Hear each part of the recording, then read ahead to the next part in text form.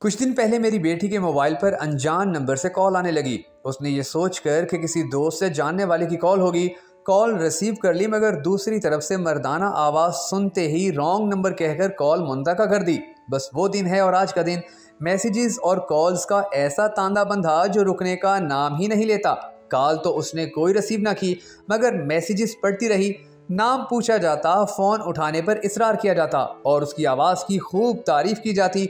अपने बारे में बताया जाता, जवाब ना देने के बावजूद मैसेजेस और कॉल्स का सिलसिला मुस्तकिल मजाजी से जारी रहा। इफ़त के लिए सब नया था, छोटी सी उम्र का एक अनजाना सा एहसास था जिसे वो खुद समझने से कासिर थी। क्या हुआ? अगर मैं भी एक मैसेज कर दूँ, यही पूछ लेती हूँ कि कौन हो और क्यों मुझे तंग कर रहे हो। इस लम्हे उसके दिमाग में ख्याल आया।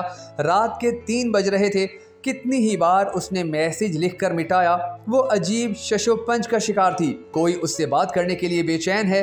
ये ख्याल उसे ना जाने क्यों एक अनजानी सी खुशी दे रहा था। बिलाखिर सोच बचार के बाद उसने एक मैसेज टाइप कर लिया, जिसमें उसने लिखा कि वो कौन है और रात के इस पहर उसे क्यों तंग कर रहा है? हाँ कोई बात नहीं, एक मैसेज ही तो है, और पूछ लेने में कबाहत ही क्या है? उसने खुद को तसल्ली दी, बटन दबाने ही लगी थी कि अचानक उसका चेहरा उसकी दिमाग की स्क्रीन पर उभरा। मेरी बेटी, तू मेरा मान है। ये जुमला जो उसके बाबा, उसका माथा चूमते हुए अक्सर दोहराया करते थे, उसके हलक में कांटे चुमने लगे। बेटियाँ जब माशरे में सर झुकाकर चलती हैं, तभी उसके भाई और बाप सर उठाकर चलने के काबिल होते हैं। शफकत मोहब्बत से कहा गया, बाबा का एक और जुमला दिल की छेड़ गया। जब कभी अम्मी जी बाबा को उसे सर चढ़ाने का ताना देती तो बाबा की तरफ़ से एक मखसूस जवाब आता कि इफ़त तो अपने बाबा का गरूर है और हमेशा ही उसे ये जुमला सरशार कर देता। उसे अपना सारा वजूद सुन होता हुआ महसूस हुआ। बड़ी मुश्किल से वो अपने बिस्तर से उठी। पसीने से शराबोर लड़खड़ाते कदमों के साथ बालकोनी में जा खड़ी हुई। मेरी बेटी तो मेरा गरूर है। मेरी बेटी तो मेरा मान है। मेरी बेटी बहुत बहादुर है। कानों में गूंजती बाबा की आवाज़ अब तक सुनाई दे रही थी। जी बाबा, जानी मैं कमज़ोर नहीं हूँ। आपकी बेटी आपका गरूर नहीं तोड़ेगी। आपका सर कभी झुकने नहीं देगी।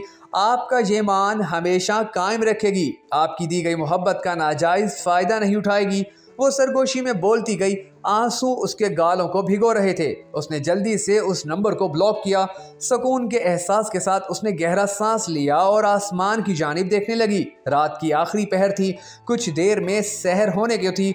नीचे सहन की तरफ़ देखा तो बाबा तहजत पढ़ने के बाद अल्लाह रब्बुल इज़्ज़त के सामने हाथ फैलाए, दुआ मांगने में मसरूफ़ नज़र आए। बाबा अल्लाह से उसकी इज़्ज़त और आबरू की दुआएँ मांगे और अल्लाह पाक उसे गुनाहों की दलदल से ना बचाएँ। ऐसा भला कैसे हो सकता था? उसे उस लम्हे अपने बाबा पर बेहद प्यार आया। उनकी सेहत और सलामती की दुआ करती वो वज़ू के लिए खड़ी हो गई। अनजान नंबरों के ज़रिए फेंका हुआ ये शैतान का जाल होता है, जो वो सनफ नाजुक पर फेंकता है।